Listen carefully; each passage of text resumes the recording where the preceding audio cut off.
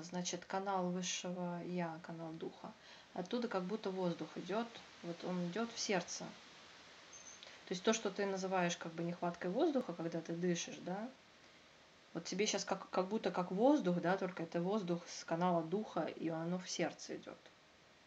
То есть вот оно, твое дыхание должно быть, вот это вот как раз, дыши.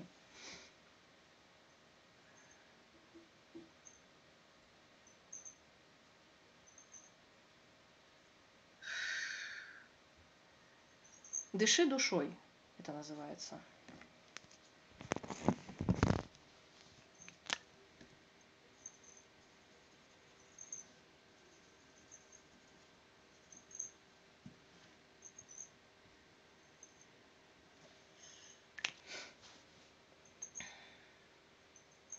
Ну как, хорошо пошло очень. Из души вот ты дышишь вот так в разные стороны. И все очищается просто. Такое приятное. Душа как будто, вот знаешь, ты вдох делаешь в душу, да, она как будто разворачивается. То есть, и ты вот прямо ей дышишь душой вот так вот. вот так разворачивается. Душа дышит, как бы не ты дышишь, а душа дышит. Вот, душа должна дышать. То есть дать дыхание душе. Вот.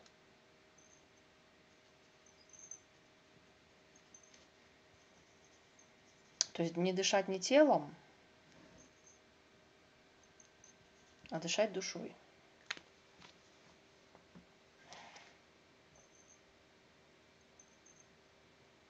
То есть она вот делаешь вдох, она вот прям разворачивается дышит.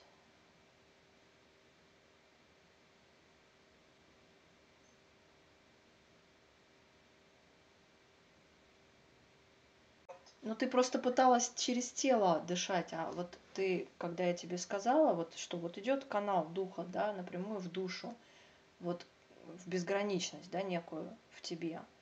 И вот ты дышишь душой, то есть не телом как бы дыхание идет, а вот из этого света изнутри как будто душа разворачивается этим дыханием. Ну, и вот она вот разворачивается, сворачивается вот так вот. И она как бы дышит, душа дышит. То есть вот тебе надо, вот это твоя практика. Когда дышать тяжело, дышишь душой, а не телом. какие-то там тяжелые спазмированности расправляются,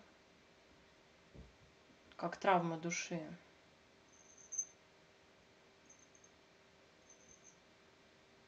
Какие-то, может быть, непринятия тоже.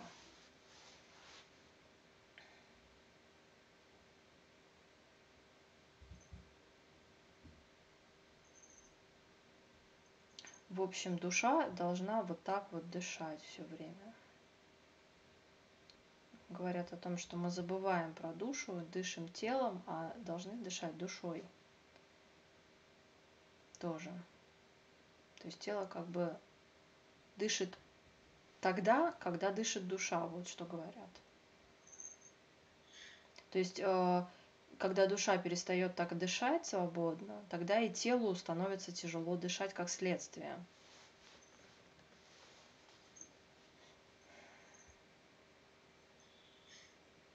Вот, э, кстати, говорят, там, когда какие-то панические атаки, вот какие-то страхи, вот надо делать все время эту практику, потому что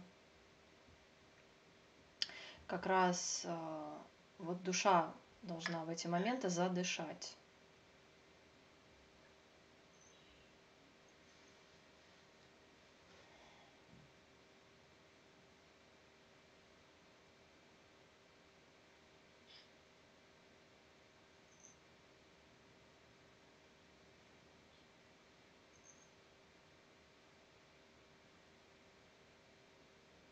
какие-то внутренние каналы в теле тоже через это открываются дыхание.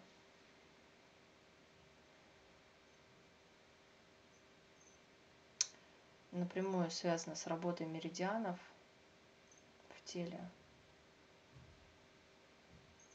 То есть, когда в каких-то местах дыша, не, душа не дышит, а, как раз вот эти вот спазмы возникают, пережимаются как будто вот эти вот меридианы, перестает циркулировать там нормальная энергия, и потом уже как следствие нарушается работа тела.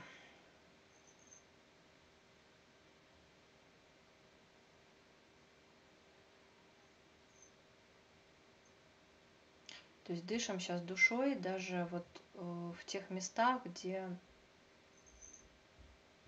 в теле э, есть какие-то зажимы, вот там душой тоже дышим, душой дышим везде, да, то есть вдыхаем как бы через дух, дух как бы как будто соединяется с душой в центре в нашем, и из этого происходит вширь уже дыхание, это вдох расширение такое.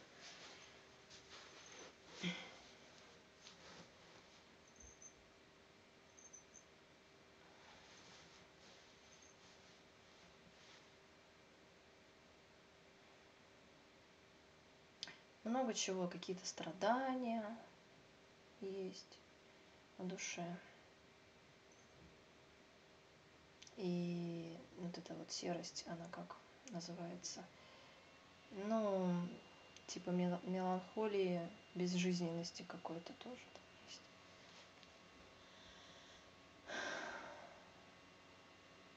Вот э, краски жизни, радость жизни – радость жизни окрашена в разные цвета.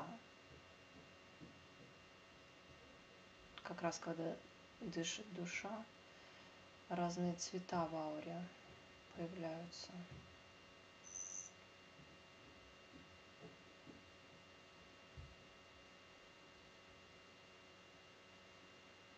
Особенно вот сейчас э, животом, через живот тоже там всякие непринятия, много чего. То есть расправ... расправлялась, чтобы душа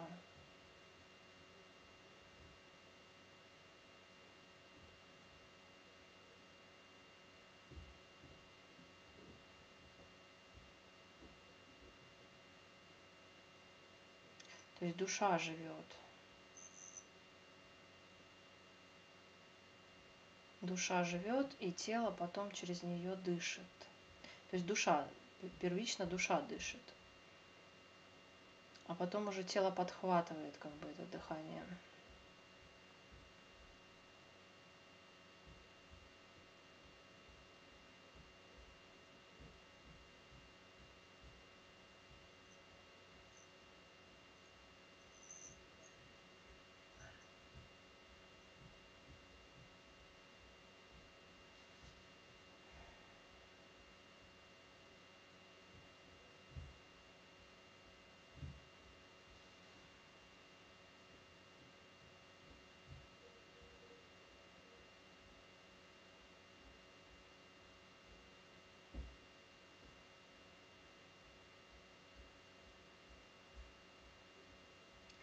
Вот э, левая сторона, голова, шея, плечо. Расслабляй. То есть не думай умом, как происходит это дыхание сейчас тоже. Просто дух э, посылает вот это дыхание в душу. И душа сразу делает этот вдох.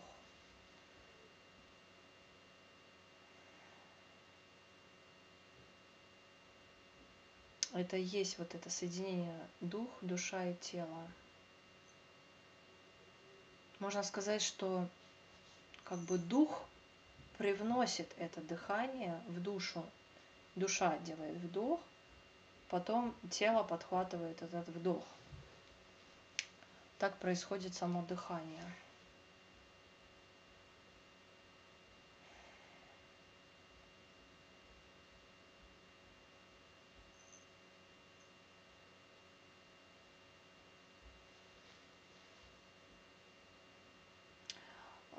Что-то говорится про то, что про желание души. Вот что душа дышит, когда ее желания реализовываются, то есть как бы еще больше усиливается это дыхание. То есть это даже не желание души, но это как не, нечто высшее, то, что душа воплощает здесь, да, вот оно как бы это дыхание усиливает, получается. А когда наоборот, не против желания души идет, тогда спазмируется наоборот дыхание это.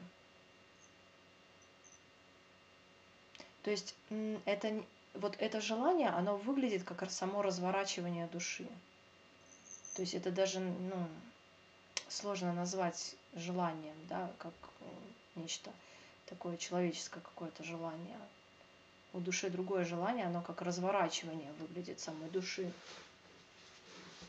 То есть как будто вот вдох приходит, душа разворачивается, и вот оно этим воплощает как бы вот это вот свое желание жизни, там, каких-то разворачиваний в пространстве и времени здесь.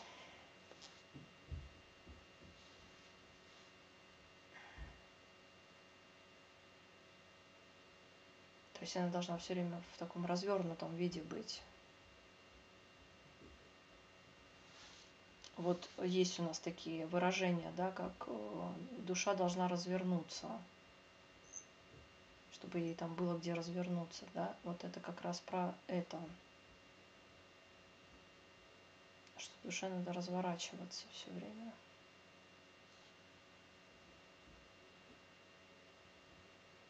То есть, а не дает ей развернуться, когда против ее желания, то есть вот этого зова, разворачивания, что-то против, когда идет,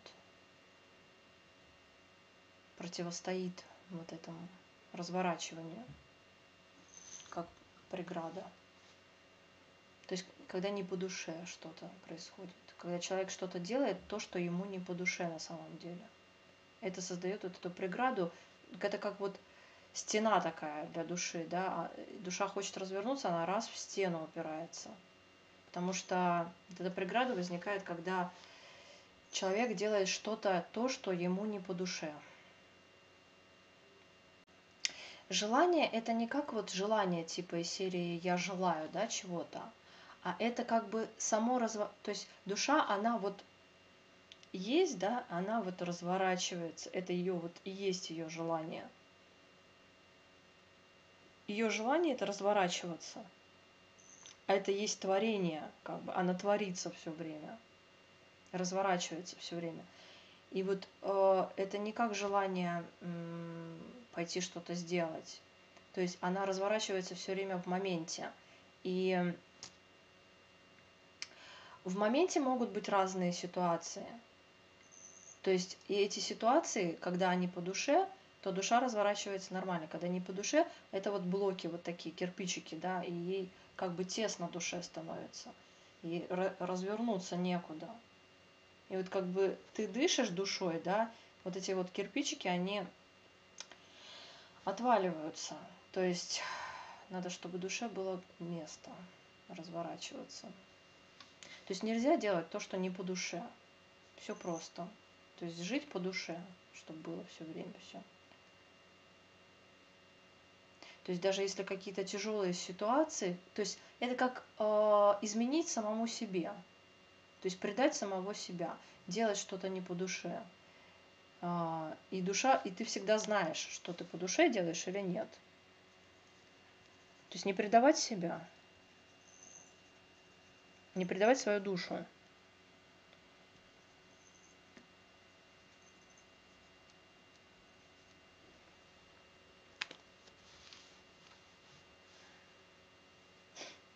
Нельзя душу предавать. Ты всегда знаешь, предаешь ты ее или нет в любой момент. То есть там по душе тебе что-то что то делаешь или не по душе.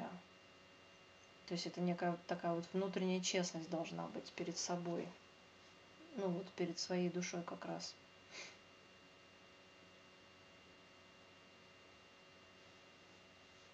От этого возникает покой. То есть вот есть люди такие вот спокойные, да. Я говорю сейчас не про характер, а про внутренний покой, когда у человека есть. Это тоже имеет основу как раз вот с этим вот по душе, не по душе.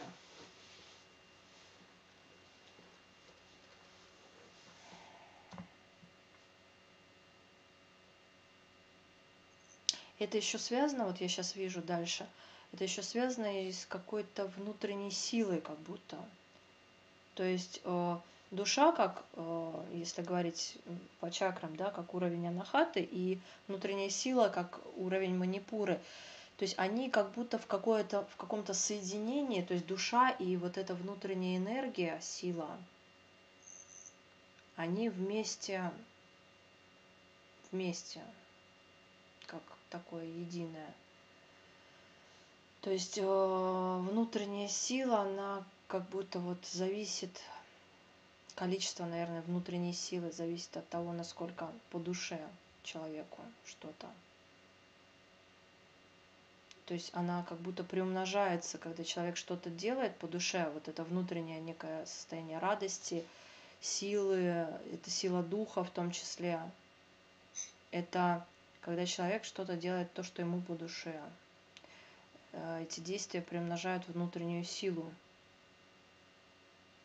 Я вижу, что как будто огонь такой. Вот, кстати, может быть, это как огонь души тоже имеет место быть. Я вижу, что как огонь начинает внутри человека разгораться. Причем это огонь не просто огонь внутренней силы, это именно как огонь соединения огня духа и внутренней силы. Такое пламя рождается какое-то, пламя души в том числе. Вот какое-то такое пламя духа, пламя души и пламя внутренней силы. Вот три лепестка такие.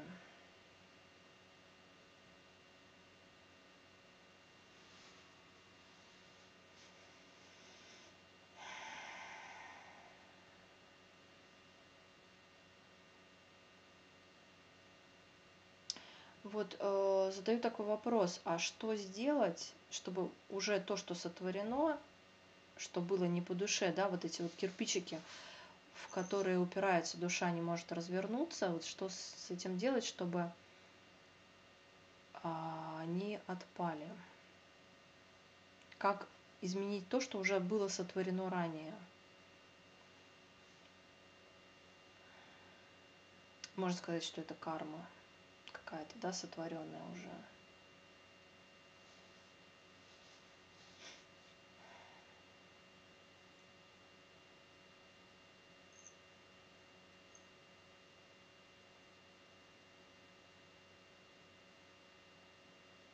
Вот есть какое-то внутреннее знание, там в том числе есть еще и прощение.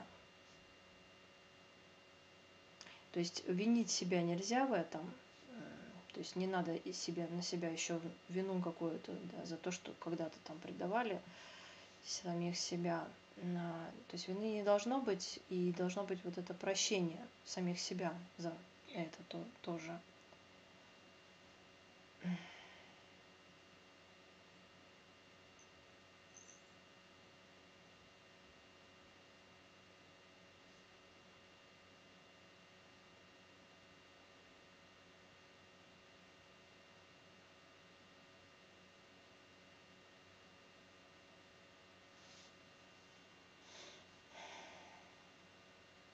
Есть какое-то внутреннее знание. Знание вот этой вот некой честности перед самим собой.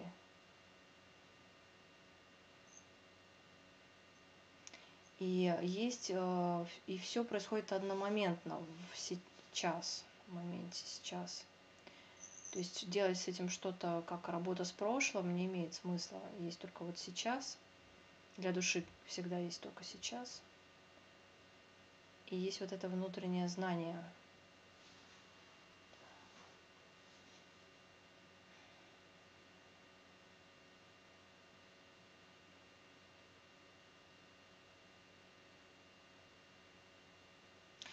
Вот это прощение, как раскаяние, да, перед самим собой за какие-то прошлые ошибки, оно как раз вот одномоментно сейчас и убирает вот эти кирпичики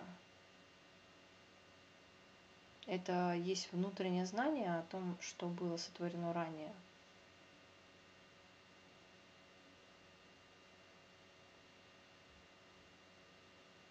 Прощение самих себя.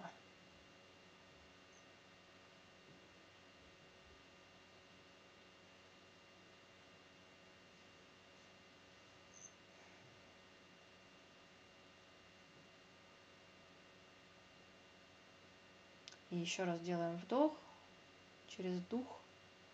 Дух как бы вдыхает.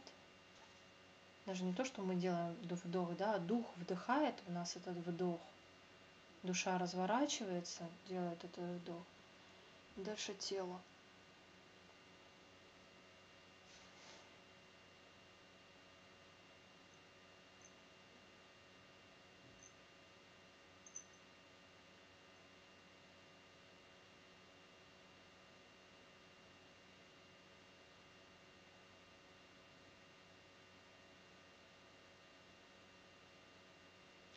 Да, простить самих себя, еще раз повторяется такой ответ.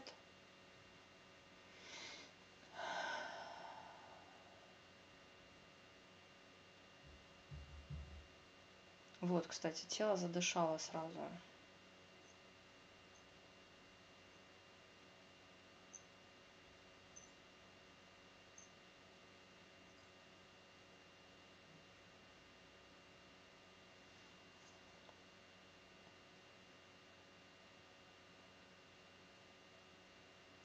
То есть э, состояние внутренней честности перед самим собой и прощения самих себя, и просто вот это дыхание, позволение духа, духу дышать душой и как следствие телом.